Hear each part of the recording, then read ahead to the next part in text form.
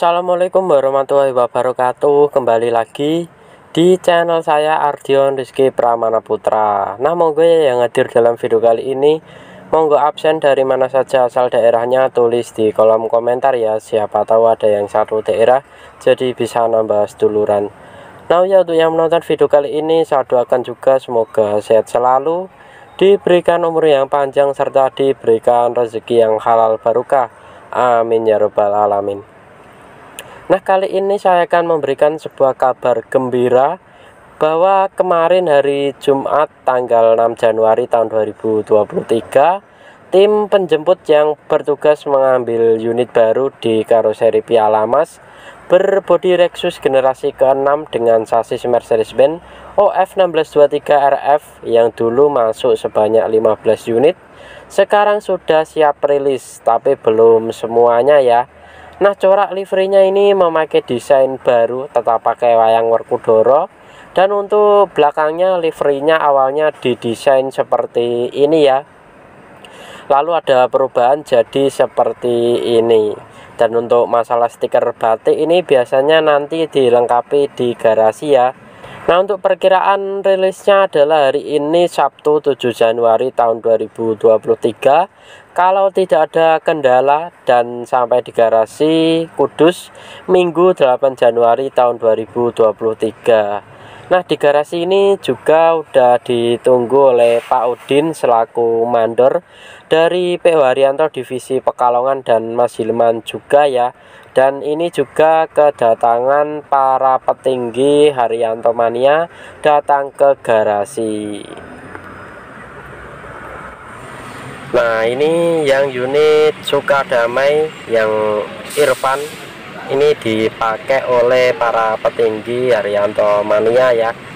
Nah ini dipakai keluar garasi oleh para petinggi Haryanto Mania dan juga ada pengurusnya PO Haryanto divisi Pekalongan Raya yaitu Mas Hilman dan Pak Udin ya turut ikut serta. Nah ini Pak Udin juga sedang menunggu armada dari Piala Mas Rexus. Itu rilis jadi nunggu di garasi Kudus ya. Nah untuk Pekalongan nanti berarti dapat yang interior seat 22 dengan ada toiletnya. Jumlah seatnya itu kalau nggak salah ada 40 dan untuk bagasi belakang karena dia pakai mesin depan itu di desain bisa untuk menampung motor ya atau paket tambahan jadi seperti transporter.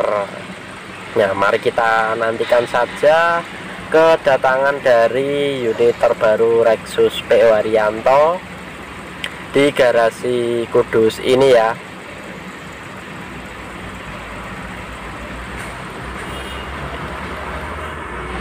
Nah ini rombongan Haryanto Mania dan pengurus Pekalongan. Nah ini ada Mas Ruli, Pak di Fatur Kemudian ada Mas Hilman, Mas Safik Dan nah ini ada Pak Udin juga. Ini kumpul semua ya Di garasi Kudus Nah yuk selanjutnya kita lihat armada-armada apa saja yang kebetulan ada di garasi kali ini ya sambil nanti kita menunggu kedatangan Lexusnya besok. Ya teman-teman nickname baru dari HR123 nicknamenya apa ini? Udah ada fontnya yang terkelupas ya Atraska. Tapi fontnya ada yang hilang ini. Padahal ini baru dipasang ya. Kemungkinan bahan dari stikernya kurang bagus ini. 123 nicknamenya Atraska sekarang. Nah bempernya sekarang polosan seperti ini ya. Dulu bemper 123 itu liverinya seperti yang sebelahnya ini ya 050 liverynya kristal elemen cuma karena pernah di refine jadi sekarang depannya hitam polos seperti ini. Ini untuk lampunya masih ori jet bus 2 tapi untuk mikanya ini ada yang kusam ya udah kusam. Mungkin udah perlu diganti ini. Nah untuk dari ini di sini penomerannya 123 dengan ada tambahan ya strobo sama boneka dan ada running textnya juga.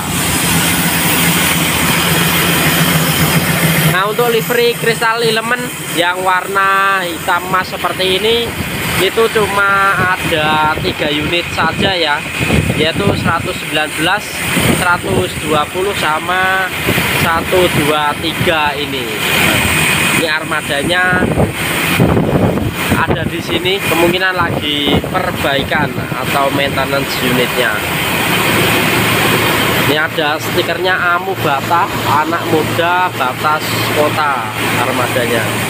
Nah ini untuk bagian depan dari HR 123 ada wheel ringnya seperti ini ya. Dengan stiker Menara Kudus versi yang tiga dimensi tengahnya ada stikernya solawatnya ini. Juga ini untuk font Menara Kudusnya udah diganti sekarang warna oranye ya. Kalau dulu kalau nggak salah itu warnanya putih seperti ini. Nah untuk garis nut body ini beberapa ada yang hilang seperti ini Nah ini 1626 asli. Jadi bagasi udah tembus atau tipe space frame ini armadanya. Ini pakai wayang Perkudoro ini juga bagian livery ini. Uh, sampingnya bagian garis nut body ada yang hilang ya. Ini armada masih aktif mengisi len Bojonegoro Parung nickname-nya sekarang jadi Atraska tadi ya. Untuk bagian suspensi udaranya tipe Naro atau di bawah sasis dari HR123 ini. Sini ada unit SHD nya PO Haryanto yaitu HR069 Black Beast Jetbus 13 SHD Hino R260 Air Suspension. Ini tampak suspensi udaranya lagi dinaikkan ya ini dari Hino RK suspensinya buatan Adiputro tipe weight atau di samping sasis. Ini sekarang udah langka SHD di PO Haryanto karena udah waktunya beberapa unitnya yang permajaan ya. Nah ini untuk armadanya itu 069 tahun 2018 ya kalau nggak salah. Jadi masih belum ada lima tahun jadi masih dipakai 069 tim Bojonegoro Poris sama kayak ini Bojonegoro juga cuma yang ini Parung ini juga Bojonegoro. Tapi ini Bojonegoro Pulau Gebang Poris pagi tim putar walik ini baru aja sembuh 050 Arunika. Sebelumnya unit ini itu turun mesin sekarang udah diperbaiki ya. Ini bodinya masih ori Jetbus 12 HDD Mercy 1626 Air Suspension armadanya. Nah di belakangnya 050 ada tim dari Sukolilo Kayen Parung 155 ini Jetbus 3 HDD Hino R26 Air Suspension unit ini tadi tak lihat uh, ngerapiin body ya atau repaint body 155 ini. Ini di sini masih ada 056 unitnya yang masih turun mesin sedang dalam tahap perbaikan 056 ini. X nya tim cepu dulu terakhir jalan ini dengan, dengan nickname-nya Samson. Yang ada di garasi bagian tengah itu di sana ada 083 lagi repair body ya. Ini tim Madura body Lexus Mercy 1626 Mercy Suspension sebelahnya ada 049 crashnya yang ini ya 050 tim Bojonegoro Pulau Gebang Poris Pagi Jetbus 12 HDD Mercy 1626 Mercy Suspension Nah sampingnya ini ada unit SHD PO Haryanto yang Mercy 1526 bodinya ini adalah dari Maestro SHD karoseri Agustus.